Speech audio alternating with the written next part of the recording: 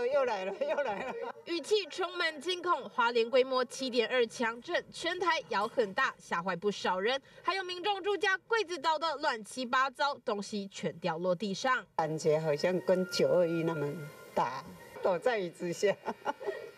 我怕天花板掉下来。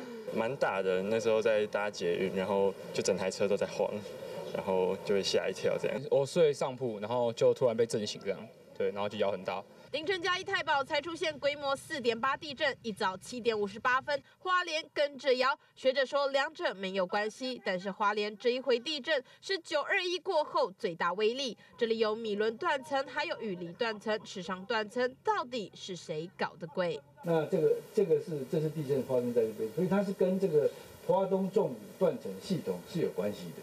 陈文山还说，这次强震等于是将一百多年来的能量释放出来，余震不能轻忽。这个规模到七点二哈，那比九二地震七点三稍微小一点，那就是这二十几年来最最大的一个地震啊。这两个地震来讲，当然地质结构不太一样了啊。今天这个地震来讲，是位在两个板块碰撞了一个断层上面。那九二地震是在西部啊，它是碰撞之后造成的一些断层这样啊。但是它相同之处都是一些逆断层。台湾的后花园花莲受到这次强震侵袭，山区土石崩落，市区大楼倾倒，满目苍夷。欢迎新闻周晨辉、谢爱纯台北新北采访报道。